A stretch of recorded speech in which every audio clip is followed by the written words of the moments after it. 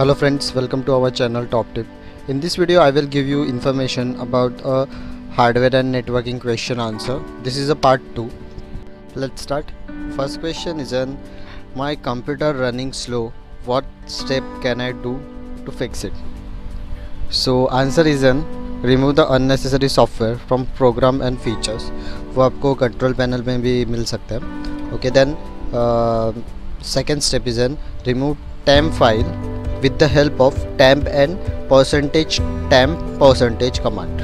So, maybe आप Windows R press करके temp type करके ओके okay करके, जो भी फ़ाइल के अंदर जो कंटेंट है, उसको आप डिलीट कर दो। आपका जो टेम्प्रेरी फ़ाइल है, वो डिलीट हो जाएगा। इससे में भी कंप्यूटर स्लो होता है, वो फास्ट होता है। Third step is an disk clean up with the help of clean M G R disk clean up run करके जो भी टेम्प्रेरी फ़ाइल है, वो भी आप निकाल सकते हो। Then fourth step is a remove startup program. Remove startup program means startup में कुछ प्रोग्राम है जो रन होते हैं may be like torrent Skype so these are the program startup में रन uh, होते हैं. सो अब इसको स्टार्टअप uh, प्रोग्राम uh, में जाके आप इसको रिमूव कर सकते हो. इसके बारे में मैं वीडियो uh, बनाने वाला हूँ. Okay and then next step is an clean PC with the help of antivirus antivirus से आप पीसी क्लीन कर सकते हो आपके पास जो भी एंटीवायरस एंटीवायरस है। Then next remove background program from task manager remove background program like some time आपने एक बार लाइक गूगल पे क्लिक किया तो आपने मीन्स uh, नहीं ओपन हुआ तो आप uh, दो तीन बार एक्स्ट्रा क्लिक कर देते हो। सो मे बी वो बैकग्राउंड में वो प्रोसेस चालू रहता है और आपका computer still hanging okay means hang hang हो जाता है। सो दैट टाइम आप विंडो कंट्रोल अल्ट डिलीट ये शॉर्टकट की है टास्क मैनेजर ओपन करने का। ये प्रेस करके भी आप रिमूव uh, कर सकते हो। Then update O S and all necessary drive like आपका अपडेट uh, आपका ओ एस अपडेटेड होना चाहिए ओके एंड ऑल मीन्स जो भी ड्राइव उसको लगता है ड्राइवर्स ओके okay? वो भी डाउनलोडेड मीन्स अपडेटेड होने चाहिए।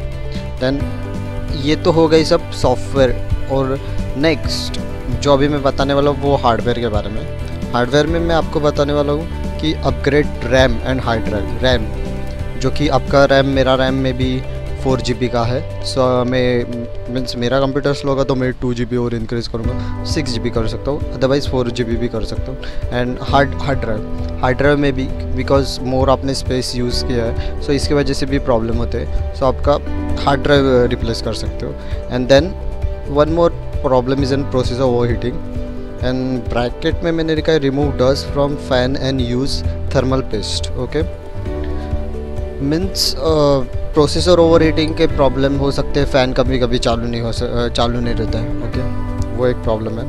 एंड फ़ैन में डस्ट बहुत रहते हैं सो आपके पास ब्रश से आप रिमूव कर दो ओके वो सब हमें बताना होता है थर्मल पेस्ट उसको यूज़ करते हैं okay thank you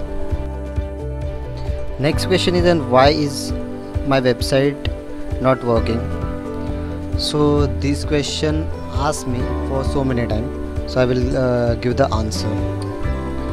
Answer is an check the IP address subnet masks and gateway. Next uh, step is an check firewall setting. If your firewall is on so some website are not working properly. Okay next step is then restore your web browser setting. Uh, then next step is then sometime if its problem occurs because of antivirus so disable your antivirus temporary temporary the next step is in try to loading same website from a different browser like google chrome edge and opera. Otherwise uh, try to same website from different pc okay? Then next step is then check your date and time. So in a google uh, you can uh, mostly um, mostly uh, problem occurs okay date and time so date and time it's not proper. So google you cannot open uh, google. Uh, so and sometimes some website are, are also not working. So uh, check your date and time. Then enable your J javascript. Okay. The next steps uh, is an ipconfig flush dns ipconfig flush dns uh, if your dns file is incorrect so it's clear your dns file and copy the fresh okay? The next steps is an uh, use vpn server and proxy server. The next steps uh, is an clear clear your history okay? Check uh, in the checkbox you just click on cache cookies okay so clear your cache cookies website and certificate error like certificate error so install your install certificate next question is different between mbr and gpt so mbr means master boot record and gpt means GUID partition table. GUID means globally unique identifier. Okay. MBR. MBR use legacy or a standard BIOS partition table. In a MBR we can create only four partition. So MBR support up to the TTB 2 TB. Uh, 2 TB means 2 terabyte hard disks.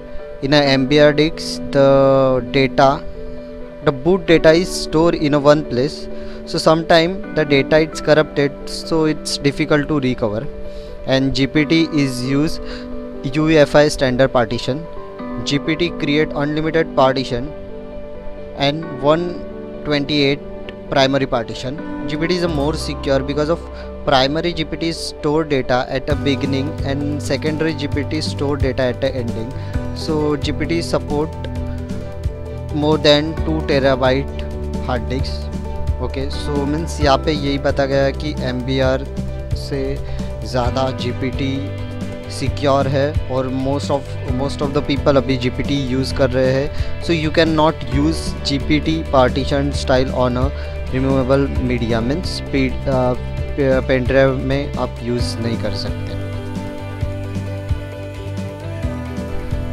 Next question next question में मैं आपको कुछ command बताऊँगा। So first is and reset command. It is used for getting path information between source to destination. And second is an TTL.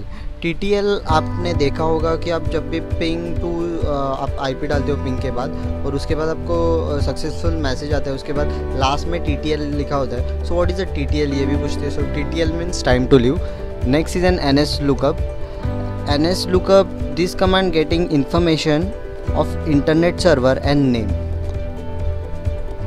Next question is an what is W D S W D S means Windows deployment service we can install operating system in a multiple P C with the help of network and without using C D D B D और a pen drive etcetera this service found in एड्रोल W D S जो कि server uh, की services है Windows two thousand eight Windows two thousand जो कि server है उसमें हम लोग सर्वर के सर्वर uh, में हम लोग नेटवर्क से ऑपरेटिंग सिस्टम इंस्टॉल कर सकते हैं मल्टीपल पीसीज में। Next question is and what is a scan P S T answer in a Microsoft Outlook the mail and other data store in a dot P format if the file may be corrupt the user unable to open their mail the scan P S T can be use to diagnose and attempt to repair the problem the scan P S T is a install with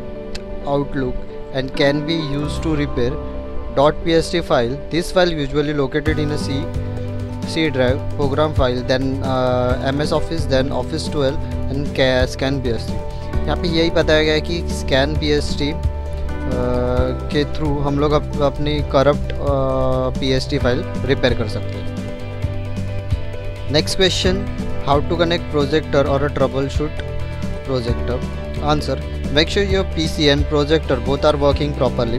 Then connect with the VGA or HDMI cable. Scan the projector and a laptop by holding holding down the function key and press one of the following key to toggle F4, F5, F7, F8 for a troubleshoot update your display drive and all driver and some high quality projector connected with the HDMI and get a sound otherwise we will connect uh, different uh, sound cable okay so यहाँ पे यही दिया है कि हम लोग projector uh, कैसे connect कर सकते हैं एंड ट्रबल शूट करने के लिए हमें display driver update next difference between HDD, SDD, SSHD.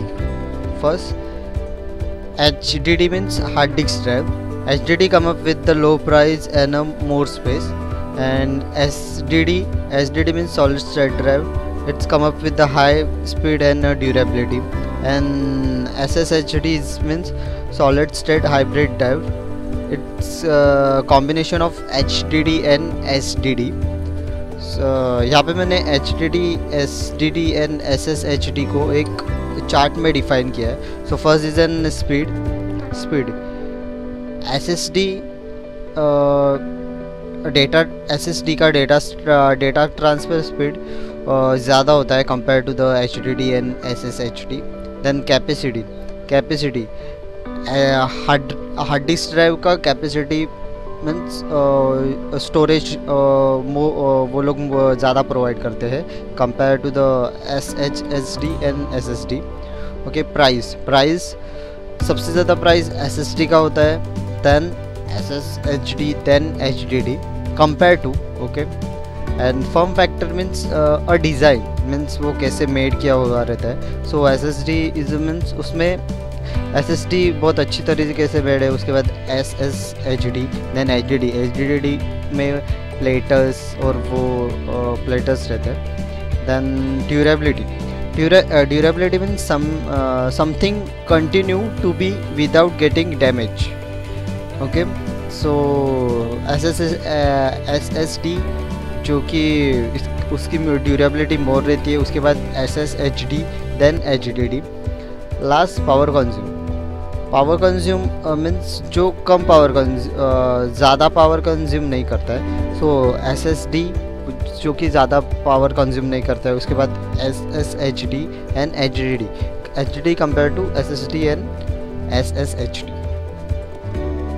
Next question difference between speed and bandwidth. Bandwidth is a capacity, speed is a transfer rate. For example, water flowing through a tap. If the bucket can fill with the water in a 5 minute, that means we can fill 12 bucket of water in an hour. Now, if you have a double width of a tap pipe, now you will notice that the time take to the single bucket is shorter by almost 30 minutes and we can fill 24 bucket in hour so our rate is a double. Remember that the water is flowing at the same speed inside the pipe as it is was earlier. The same concept apply in a networking. Speed is your bandwidth and uh, sorry pipe is your bandwidth and speed is your data. When we talk about uh, WAN we mostly talk about a bandwidth. When we talk about a LAN we uh, mostly talk about a speed. Uh, following example are given from regular uh, uh, regular work. So fast browsing uh, we need a speed uh, speed and the buffering online video it's a concept of bandwidth. Next question what is a loopback and why we use? So loopback command is an ping space 127.0.0.1 and it is used for testing network drive and network card. It is used for a uh, self pinging if we will get successful message it is indicate that our network card and network drive working properly and vice versa. So friends thank you for watching this video so like and share this video and subscribe my channel top tip IT